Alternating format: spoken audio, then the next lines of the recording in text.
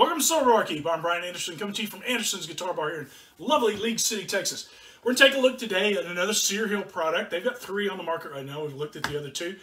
Now we're going to take a look at their Durangold tequila-inspired non-alcoholic spirit. Um, so there's a lot of nice uh, non-alcoholic tequila uh, alternatives out there.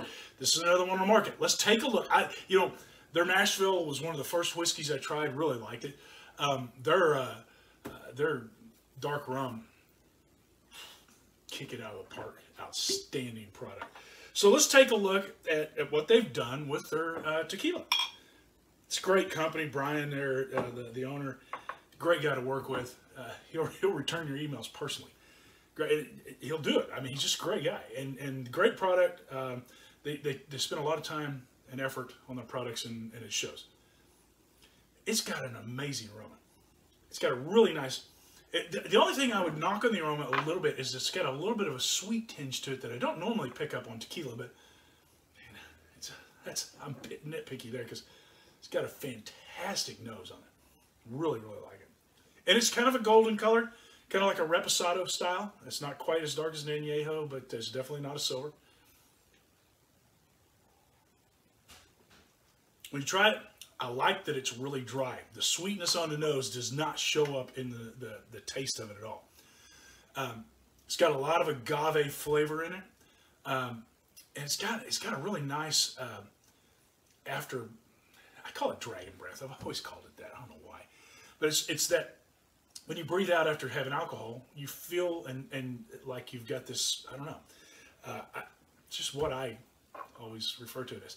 It's got that nice, um, long, lingering um, flavor to it, and, and and I really really like that about it. Um, I it's not, it's got the components of tequila in it, um, and and it's made for cocktails.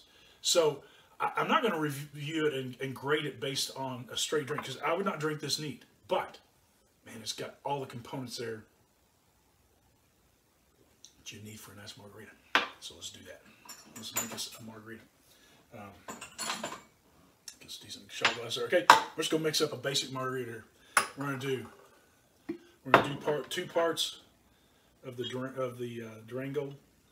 Boy, it's just got a great the the, uh, the nose on this thing's fantastic. You just keep smelling and keep smelling and keep smelling. Um, do a little triple sec. We're do, going after a basic margarita here, so we're going to do one part triple sec.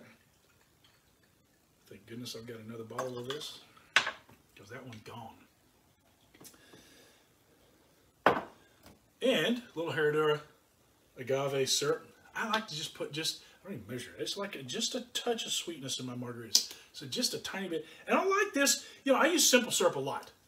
Um, but for margaritas, I really like using this Durango agave syrup because it just adds a level of complexity to it that you don't get um, with simple syrup. You, you just get the sweetness with simple syrup. then we're going to do my standard half a small lime because it's kind of what I do. You got to have lime in margarita.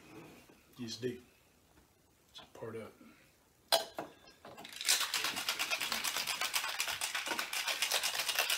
Shake that up really good. Just a good mix of everything. let's see how this how this works. In it. Oh, it looks nice. Just got a nice nice color to it. And it just looks like a tasty margarita right there. smells right. Let me tell you, that builds you a really outstanding margarita. It's very smooth. Um, this has got at the same time get that back in. Agave tequila flavor and, and, that is this this is where this one shines is in a cocktail. I've done this um, with a mule tijuana mule which you know i just love mules. Um, and i like it there but this for some reason just is this is its sweet spot.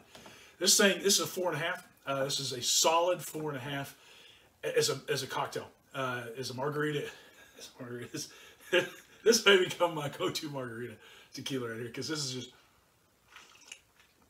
it's just got man it's everything you want in margarita right there it just it It blends incredibly well with the other components, and the the tequila aspect of it, the tequila taste of it, uh, and the agave taste that really just shines in a margarita. I love it.